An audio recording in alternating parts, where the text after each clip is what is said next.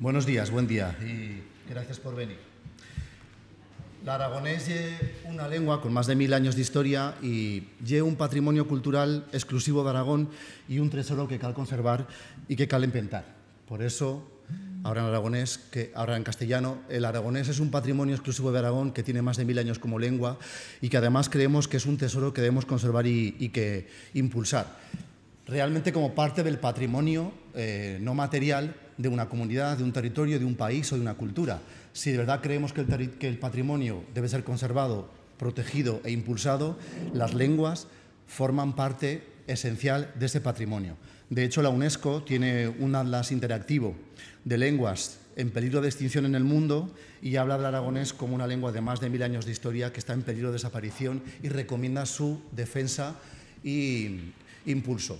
Por eso nace hoy la Oficina Municipal del Aragonés, eh, gracias en buena medida a una enmienda de Junta Aragonesista a los presupuestos de 2017 y por eso hacemos conjuntamente esta rueda de prensa, Carmelo. Así es. Bueno, pues muchas gracias. Y hoy es un gran día, es un día especialmente importante para, para Junta Aragonesista y yo creo que para todos los amantes y para todos los hablantes del aragonés. Hoy es un gran día para la lengua aragonesa. Y qué lejos queda ya aquel mes de septiembre del año 2005, cuando la Junta Aragonesista presentó esa primera moción, esa primera moción que, por cierto, salió aprobada por unanimidad, incluido con los votos de la derecha, para suscribir ese manifiesto, adherirnos como Ayuntamiento de Zaragoza a ese manifiesto de Chuntos por la Aragonés. ¿no? O aquella otra moción también en la última legislatura, en junio del 2012, donde planteábamos que se cumpliese la ley 10-2009 que tiene que ver con la protección de las lenguas propias de Aragón, o la última que llevamos con esta cuestión, que fue precisamente en octubre del 2012, donde Zaragoza se adhirió al manifiesto y que perfectamente todas las entidades que estéis sentadas aquí en la primera línea conoceréis muy bien, eh, de la coordinadora del Aragón trilingüe para que nuestras lenguas, tanto el catalán como el aragonés, tengan la dignificación y el reconocimiento que se merecen. ¿no? Hoy damos un paso más, un paso más y es muy importante, con la creación de esta oficina del aragonés en la ciudad de Zaragoza. Como bien decía Fernando, con una enmienda de Junta Aragonesista para su puesta en marcha y también con la colaboración del Gobierno de Zaragoza en común, que es un gobierno que realmente se cree la importancia que tiene la lengua aragonesa en nuestra ciudad.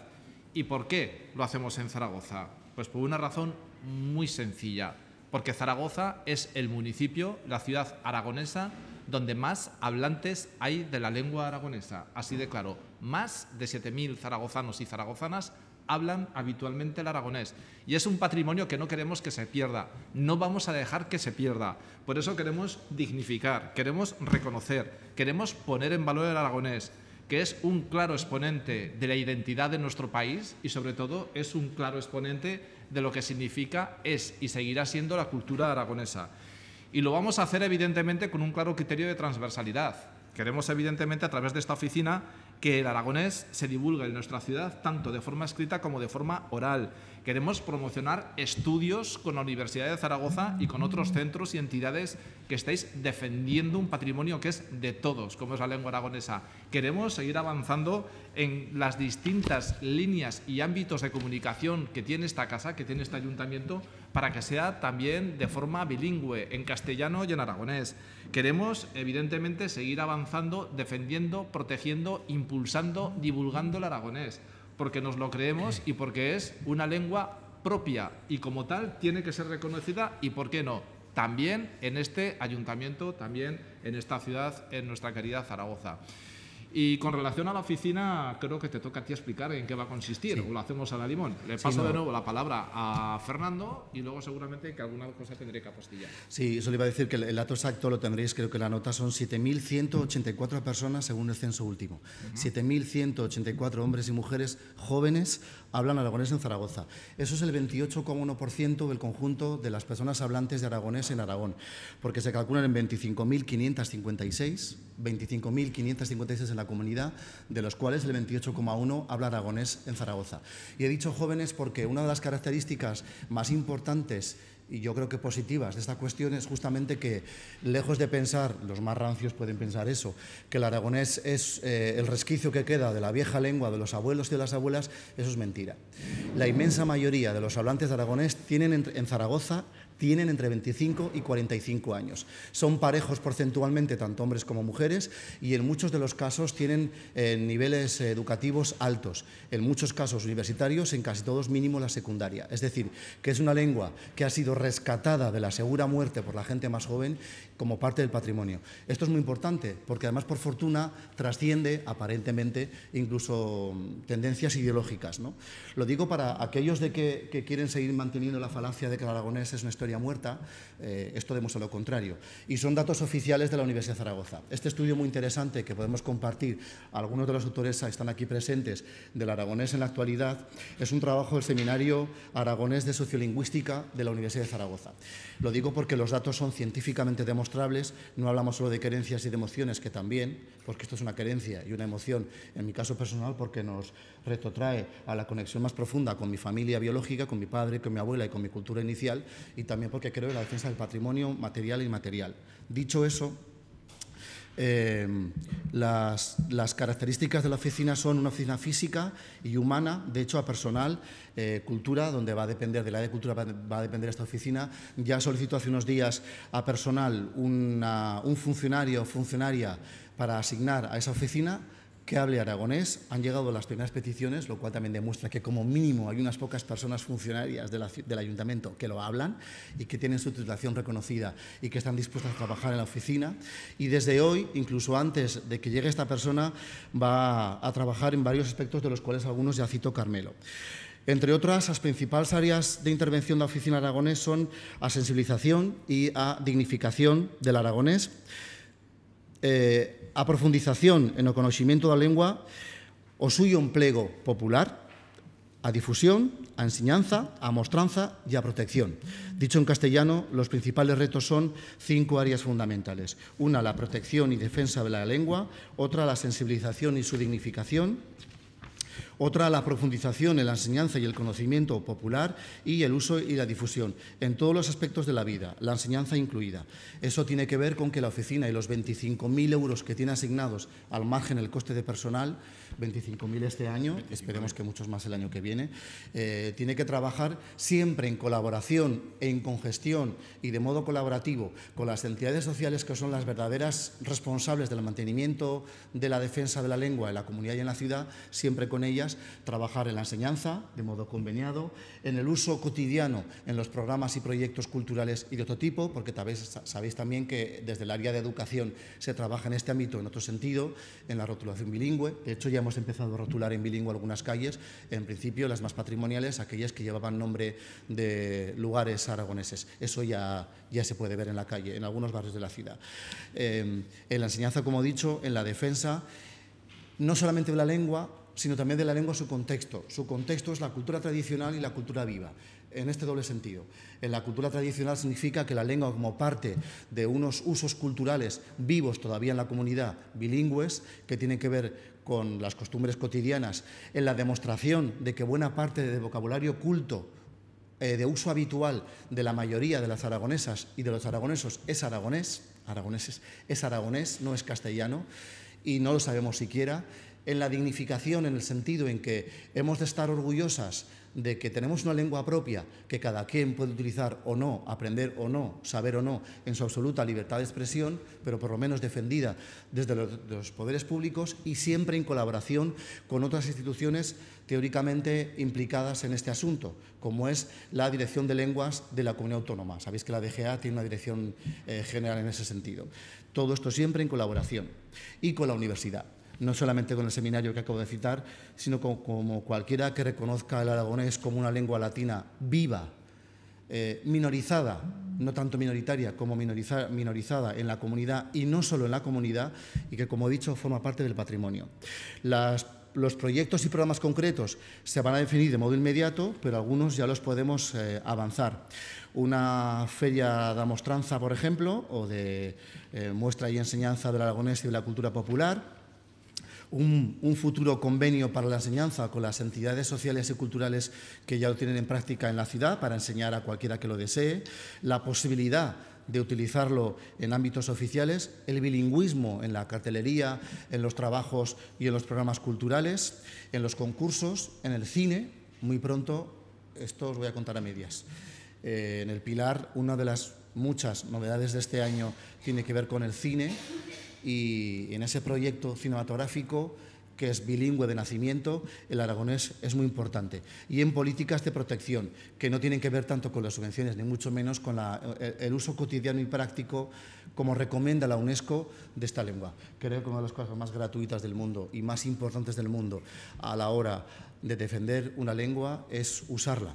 Porque yo creo que Zaragoza como ciudad, aquí voy a acabar, Carmelo tiene, tenía una deuda pendiente con ese sentido. Yo creo que el Consejo de Zaragoza tiene una gran deuda pendiente histórica o aragonés d'una man, de una parte, por hacerlo fuera de las suyas carreras, pero de otra man por el reconocimiento y respeto a los aragoneses y aragonesas que un día abandonaron a suyas tierras y costumbres, luenga incluida, y que, eh, en Belcaso su tierra, también desaron en Ocamín el uso de la lengua aragonesa. Esto es muy importante, porque esos son biológicamente o culturalmente nuestros padres y madres, abuelos y abuelas. En mi caso, biológicamente, pero en muchos casos ni siquiera tendría por qué hacer falta. Y como colofón, esto no tiene nada que ver, rancios míos, si hubiera alguien escuchando en algún momento del día, con la obligatoriedad ni nada parecido, sino con la defensa del patrimonio propio, de la cultura propia y de la riqueza y la diversidad que tiene la cultura aragonesa.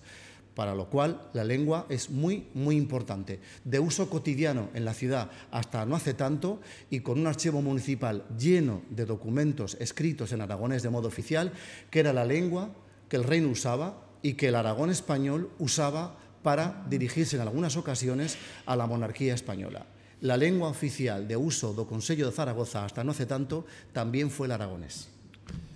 Eso es, eso es. Y precisamente eso es lo que queremos. Este auténtico patrimonio que muchas veces vive de espaldas a la ciudad, lo que lo queremos hacer es abrirlo, abrirlo, informar a los zaragozanos y a zaragozanas del rico patrimonio que tenemos precisamente en nuestros archivos municipales, como bien decía Fernando, donde buena parte de las actas, incluso de este consejo, por cierto, ¿eh? de este municipio, se hacían en lengua aragonesa. No queremos imponer, efectivamente, queremos divulgar, queremos dignificar y queremos reconocer la identidad que tiene Aragón como país y su lengua. Y eso lo vamos a hacer y vamos a hacerlo también con esta oficina de la lengua aragonesa. Y lo vamos a hacer en coordinación con las entidades que gracias a vosotros el aragonés todavía vive, es una lengua viva, ¿eh? aunque esté evidentemente en un riesgo real, como bien dice eh, la UNESCO, porque evidentemente es una lengua que, que está en una situación amenazada pero también lo queremos hacer en coordinación, en coordinación con el Gobierno aragonés y con la Dirección General de Política Lingüística, que ya sabéis que está haciendo una apuesta muy decidida por seguir protegiendo, difundiendo y garantizando el uso del aragonés como una lengua propia y de forma normalizada. Por eso colaboraremos con todas vosotras, con las entidades que estáis trabajando en la defensa de Aragonés y también de forma coordinada, evidentemente, con la Dirección General de Política Lingüística, que es la mejor forma de hacer este camino juntos. ¿Tenéis preguntas? Bueno, recordad por favor lo que ya dijimos antes, que nace de una enmienda de Junta Aragonesista al presupuesto 2017, compartida por CEC, porque en el programa electoral de Zaragoza en Común, capítulo Cultura, hablaba también de la defensa y, y del y del apoyo a la lengua aragonesa y de la creación de la oficina y del uso bilingüe. Hay, un, ¿eh? hay, una, hay, en el, en, hay unos cuantos folios de uso del aragonés en nuestro enorme programa electoral de cultura. ¿Preguntas de esto, en principio? Inma, perdona, que soy teniente de alcalde. ¿Cuántas? Eso es un documento que tengo que pasar pues, muy interesante si queréis, que es este, sí. que es el que hace el Seminario de Aragonés de, la, de, Sociolingüística y de hecho uno de los coautores lo tienes justo delante, es Xavi, eh, pero yo creo que de las, las 7.184 personas que se reconocen como fablans o como hablantes del aragonés, ya hablan aragonés. Eso no cuenta, eso no cuenta cuántas más pudieran estar ahora mismo en la ciudad estudiando aragonés en las escuelas que lo proponen y a partir de pronto, seguramente a la vuelta al verano o, de, o del año que 2018, o el, el fin del 17, eh, en convenios nuevos. ¿Cuánta gente podría estar estudiando ahora mismo en Zaragoza? ¿Lo sabéis? Aprox. En nuestra asociación en Novara, 160. 160.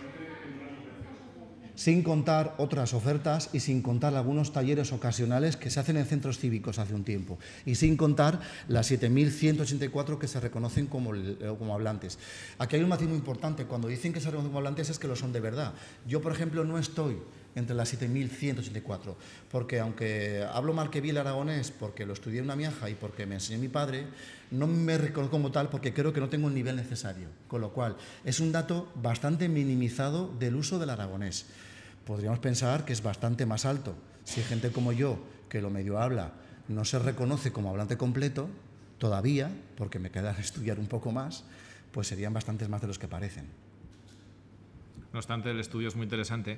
Habla de que hay 25.000, más de 25.000 personas que hablan el aragonés en todo Aragón.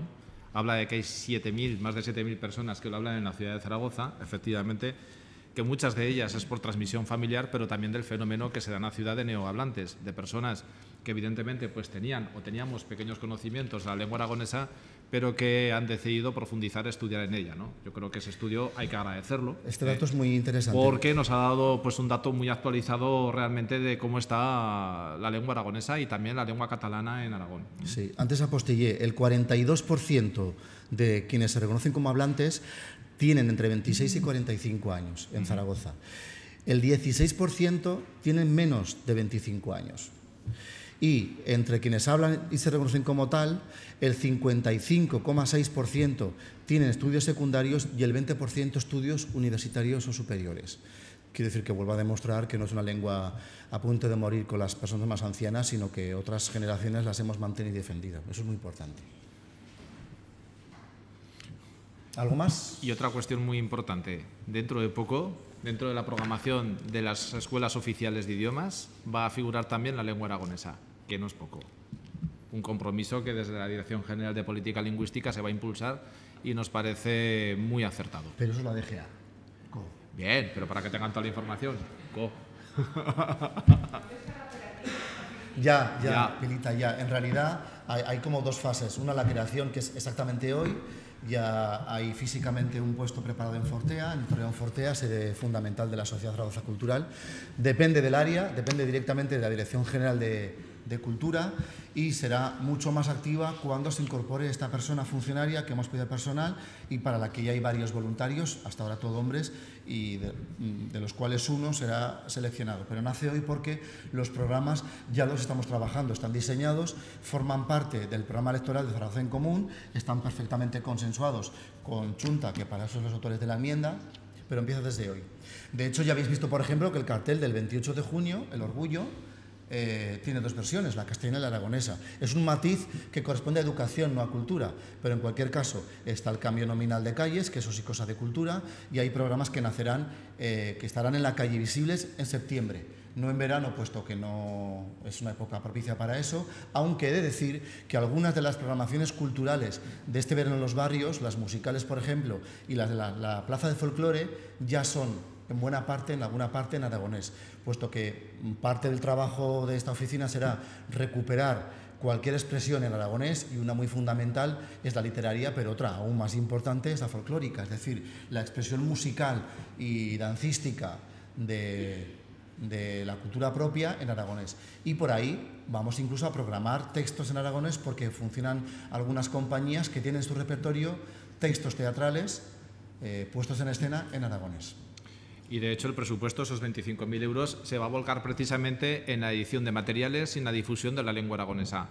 Este aspecto era muy importante. No queríamos emplear recursos para contratar a nadie de fuera. Era muy importante que fuera un funcionario, un trabajador del Ayuntamiento de Zaragoza que evidentemente pudiese acreditar pues, su formación en aragonés, que pudiese acreditar también una experiencia demostrable también en lo que es la utilización de la lengua aragonesa y sobre todo por dos cuestiones que consideramos básicas. Primero, porque se conoce la estructura de la casa, cuestión no menor, y segundo, porque no queremos incurrir en más costes y en más externalizaciones. Pensamos que con recursos propios es la mejor forma de hacer las cosas. Y si tenemos personal habilitado y con condiciones, mucho mejor. ¿Algo más? Pues bueno, ¿por qué veremos, no? Ya lo hemos visto. Ya lo hemos visto. Ya lo hemos visto. el Desde el año pasado, ¿no? 2015, desde el primer eh, programa de fiestas del Pilar con Zaragoza en Común, ya había eh, partes en aragonés. No era todo bilingüe, básicamente porque traducir la hora, el día y el lugar no tiene traducción. Es las 17 son las 17, el número, ¿no? Pero ya había incluso la campaña Primera no es no, que se crea para el Pilar y que luego se extiende junto con Juventud e Igualdad al resto del año, ya era bilingüe. Así que no es que veramos, sino que ya hay trabajos bilingües en, el ayuntamiento en ese sentido. Pero lo más importante será lo que acabamos de recordar ahora, ¿eh? la publicación de materiales, la enseñanza, la defensa y la programación de aspectos culturales que tengan su desarrollo natural en aragonés. Porque aquella persona que lo habla lo tendrá muy fácil y aquella que no también. Porque en el fondo hablamos una lengua latina y además de eso, consciente o inconscientemente, miles de palabras si hablas bien, si hablas mal, cientos, de palabras de uso cotidiano en castellano no son castellanas, solo son de uso aragonés, porque es aragonés, lengua aragonesa, aunque alguna gente no lo sepa. Así que la comprensión del aragonés es bastante sencilla, como mínimo, si eres aragonés, aunque no lo sepas, queda en ti una remora que te permite perfectamente entenderlo. Igual, Fernando, nos sorprendes con las ordenanzas fiscales también en bilingüe, ¿o qué? No. El aragonés ha de servir para cosas agradables. Eso es verdad. Muy bien. ¿Algo más? ¿Alguna pregunta más? Y no, no seremos un club mixto, Carmelo y yo. Algún día Carmelo se sumará a CEC, pero no seremos nunca el Carmelo mixto. Eso nos- tus ojos no lo verán. Hombre, Ya será al revés. Ya será al revés.